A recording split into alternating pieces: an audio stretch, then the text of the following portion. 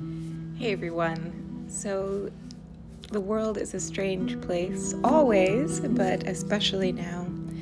Um, and I feel like it's an opportunity for everyone to take a step back, to slow down, to appreciate the simpler moments of every day, and to appreciate the things that mean much to you.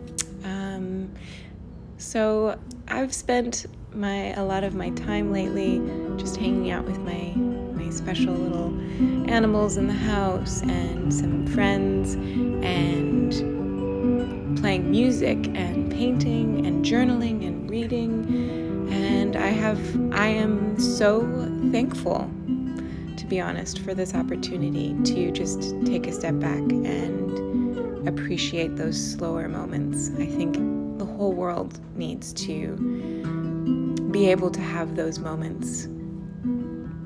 We get caught up in in the hustle and bustle of everyday life. We get put in uh, all these burdens are constantly being stacked upon us. Um, and it's just, it's quite wonderful. Um, assuming everyone stays healthy and happy uh, to be removed from all that. And we don't have a choice. We actually, this is a forced, a forced simplifying of the world.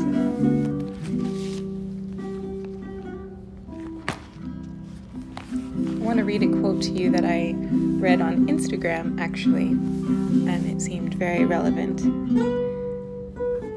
And the people stayed home and read books and listened and rested and exercised and made art and play games and learned new ways of being and were still and listened more deeply. Some meditated, some prayed, some danced, some met their shadows.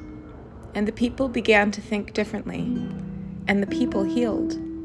And in the silence, in the absence of people's living in the ignorant, dangerous, mindless, and heartless ways, the earth began to heal. And when the danger passed and the people joined together again, they grieved their losses and made new choices and dreamed new images and created new ways to live and heal the earth fully as they had been healed. Kitty O'Meara.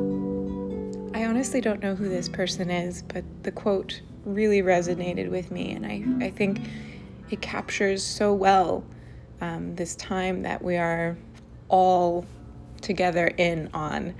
Um, there's some beautiful moments, there's some darker shadows that we have to face, um, and we will have losses to grieve.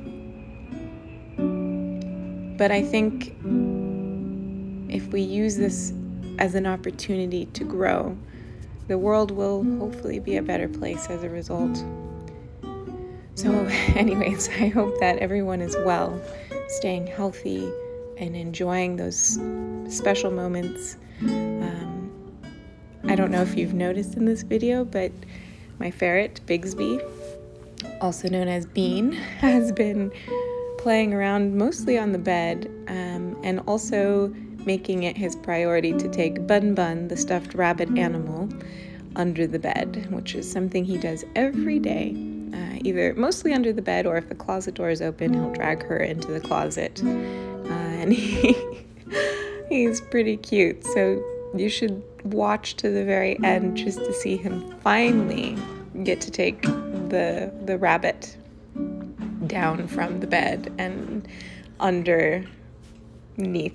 I don't know why he's so determined every day to stash this little stuffed animal rabbit, but it's quite charming. Anyways, enjoy your time. Be well, everybody, and I will talk to you soon.